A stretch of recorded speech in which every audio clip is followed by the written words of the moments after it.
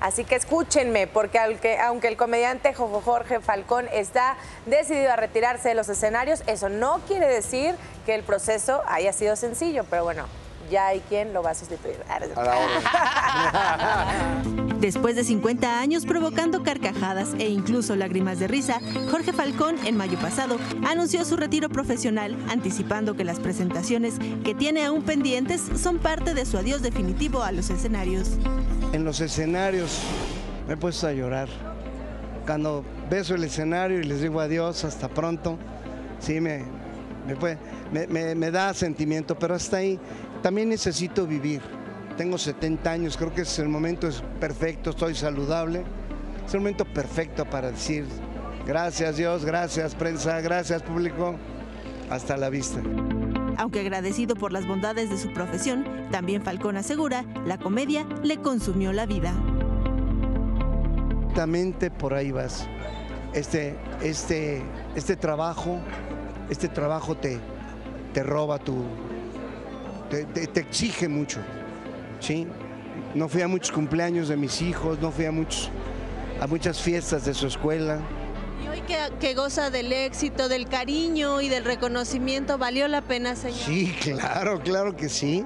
Y creo que todos, todos, creo, ¿eh? yo es mi forma de, de expresar, creo que todos deberíamos saber cuándo ya, cuándo ya retirarnos.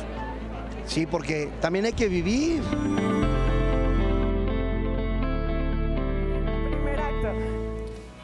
maestro Jorge Falcón, que dejó su vida en las pistas nocturnas y en los teatros. Y que además dejó mucho, mucho aprendizaje porque tenía su escuela, eh, enseñaba muchísimo eh, y motivaba a los nuevos comediantes. Y en su momento hizo mucha televisión también. Yo recuerdo que estaba en todos los programas de comedia que habían de Televisa y tenía él la, titularidad prácticamente. Bueno, icónico, con, siendo el, padre de Chabelita, ah, ¿no? El que la agarraba eh, eh, Es que fueron varios. El primero fue Héctor Suárez. Ajá, el primero. Héctor Suárez, Sergio Corona también, ¿no? Sergio Corona, él y este y el comediante de la cola de caballo. Teo, Teo, González. extraordinariamente buena onda. Exactamente, pero oigan, siguiendo con Jorge Falcón, ¿acaso él siente que la comedia queda en buenas manos con el talento emergente? Recordando el humor y tipo de comedia que realizaban personajes como Capulina y Chespirito y los cambios que el género ha experimentado con el paso del tiempo, Jorge Falcón convencido está de que la comedia no atraviesa su mejor momento. Pues en un momento difícil, han prostituido mucho la comedia, los casi, casi todos los nuevos eh, artistas, pseudo artistas. ¿A, ¿A qué se refiere con prostituir? A que ya no hay ingenio. Todo es majaderías, ofensas, ofender al público, hablar de órganos sexuales. Eh, se, ha, perdido, se es prostituir la comedia. No hay el ingenio, ¿sí? De un doble sentido, de un... Como te acuerdas lo de la Chabela. Me dejaba así de... me la enseñó, te la enseñó. te prohíbo. Entonces ya no voy con él, no, te, ni quiero que lo veas. ¿Eh? La tenía gorda, cállate, le brillaba. ¿Ve? Esa es una forma de, darle al público eso que estás pensando. no lo quiero que lo vuelvas a ver. Entonces me quedo con ella. ¿De qué me hablas? Una vela que te... Ay, hija Dando firmeza al dicho que asegura que es más complicado hacer reír que llorar, Falcón desestima a las nuevas generaciones que no van más allá de lo evidente. Eso es humor inteligente. Lo que hacen los chamacos, eso es salir a salir a, ofender. Y eso le gusta a muchos chamacos, a mucha gente que no tiene a lo mejor la fineza de ir a ver un show elegante, bonito. Y es que es cierto, una cosa es el doble sentido, en donde no es tan explícito y obviamente sí puedes poner a jugar la mente de las personas. Y otra cosa es ya contar el chiste per se a, eh, con ofensas, siendo incómodo y esto se generó mucho con el stand-up, pero un- no un stand-up bien preparado, ¿no? sino un stand-up donde se, se iba a esta onda del cabaret, de que s- se dice cabaretear y, y ofender a la gente que estaba ahí. Creo que eso es, como dice Jorge, Yo creo que hay como lo todo. básico. Yo creo que hay de todo. Yo creo que hay extraordinarios cómicos. Por ejemplo, a mí en lo personal me gusta mucho un cuate que se llama Andreas Zanetti, que es un eh, concertista de piano, un tipo cultísimo que habla varios idiomas, es cantante este, y, y además eh, es un showman ese cuate. Otro que me gusta mucho es el costeño. Lo hace extraordinariamente bien. Aparte, él es psicólogo, entonces te va psicoanalizando a la gente y, y todo eso so- son casos de psicoanálisis. El otro es el norteño, que son puras mentadas de madre al estilo norteño, y es de aquí de Tlanepantla, cual, cual de Monterrey, ni que nada. O, o- otro que me gusta, que creo que podría ser quizá el más completo, el JJ, qué bruto. El cual Sí, se puede aventar cuatro o cinco horas en un, eh, Imita. eh, eh, en un escenario, es imitador. todo. Rogelio Ramos, que es un señor que viene del stand-up de, de- del norte del país, él vive eh, en Saltillo, pero su centro operativo es en Monterrey. En Nuevo Monterrey, León. ahí hay Y- muchos muy Y el buenos. señor lo ha hecho. Monterrey Nuevo León, cuna de sí. grandes. Está eh, ahora de, de las nuevas Está Franco generaciones. Escamilla, Eh, está la India. tenemos Franco Escamilla y tenemos a la India Yuridia, que, que les va muy bien. La India Yuridia ha reventado todas las taquillas de Estados Unidos y de México. Y Franco Escamilla también. Y después hay otros chavos con otro estilo de, de comedia como los de la cotorriza. Que son muy groseros. fui a ver Sí, ellos se han metido en más conflictos, por ejemplo.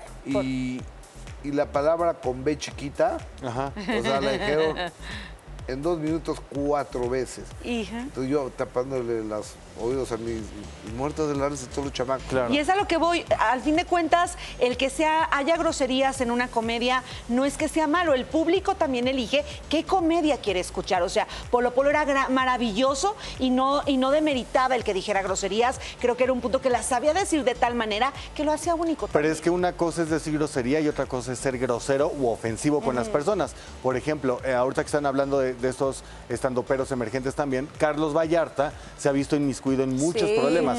Primero, por criticar a Chespirito y de la forma como lo hizo con la comedia de aquel entonces. Segundo, eh, hace unos meses que criticó a los niños con VIH. Ah, muy y entonces se volvió una cuestión muy polémica. Entonces, creo que aquí es donde tomo de la mano el comentario de Jojo Jorge y sí hay que ser, o sea, eh, es lo que decía el señor Héctor Suárez, ¿no? Creo que él era el que decía que hay gente que dice ped y da gracia y hay otros que huele a caca. Yo lo Entonces, que, yo lo que veo o he escuchado que explican algunos comediantes ahora es que es una pirámide invertida. Entonces, donde tú estás a tu nivel, ahí es como puedes hablar y tirar siempre para arriba, nunca para abajo. Como que esa es una regla de, de oro. O sea, no puedes hablar de enfermos, no puedes hablar de gente que esté hacia Ah, abajo, ah, sino ahora. hacia Así arriba. tienes Ah, ah, permisibilidad ahora, de- ta- ta- dependiendo de tu también, eh, situación. Ajá. También estamos viviendo, en, desafortunadamente, no, bueno, no desafortunadamente, está viviendo una generación de cristal donde no se puede hablar de muchas cosas. O sea, por ejemplo, este ya habla de las mujeres, hay problemas. Hablas de los gays, se, se enojan. Hablas de los morenos, también se enojan. Hablas de los nosotros los chaparros, también. O sea, yo creo que es comedia también. Podemos ser más aliviados en mi punto de vista, aunque también herir susceptibilidades. Exacto. Por ejemplo, los de la cotorriza se meten mucho con los niños de síndrome de Down y creo que no se vale. Exacto, sí, sí, sí. si yo o tuviera sea, un hijo o un hermanito con síndrome de Down, no me gustaría lo que hacen. O lo que hizo Platanito, hablar de los niños del, del que perdieron pero la mira, vida, ¿no? En una le tiran tragedia. a los políticos y les va bien, ahí no hay falla. Ahí no hay falla. No, no, porque, no, no, no. o sea, le O sea, reclaman hoy directamente a ellos. hoy- pero a la sociedad le, le gusta. tiras a la 4T y te acaban. Ah, no, bueno, Al sí. costeño casi se le acaba la carrera. ¿eh? Exacto, pero de la política directamente que, que reclaman, pero el público lo aplaude. ¿No? Eso sí. Este, a- a- Y un aplauso a Palillo donde quiera que esté. O sea, en general, ¿no? De Cerrerías, eh, Palillo. Era Un comediante, un cómico, crítico. eh, Era el papá de Ana Martín, que era el primer cómico político. Así es. Que lo metieron 10 veces a la cárcel, les daban tranquisas y, y demás. Y ya nomás presentaba un nuevo show, ya sabía que saliendo Sí, la policía la lo, estaba, lo estaba esperando para meterlo es. a la cárcel. Sí, sí, sí. Entonces, ¿y sabes quién hace una maravillosa imitación de él? El Benito señor El Benito señor Castro. Benito Castro. De hecho, lo, lo hizo en algún momento en el Tenorio Cómico, ¿era? Creo que, creo En que donde de lo hacía era Tenorio Co- Tenorio increíble. Porque decía, bueno, yo me acuerdo una parte donde decía, ¿no? Que cuando vives en un departamento por- del Infonavit y pones la última cena, seis quedan adentro y seis en la otra habitación. No, eh, eh, eh, eh, eh, en la otra casa y que cuando un marido le dice a, a- a la esposa, hoy hacemos el amor, cuatro responden, me duele la cabeza.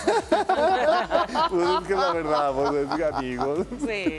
Pues ya Luego hay unos que, que dicen que en los departamentos del Infonavit es eh, entra el sol, te sales tú, porque no caben los dos en la Pues es que esas nos arriesgamos, pues, es que pues cada vez más chiquitos porque ya hay más, ca- más departamentos, casas, todo.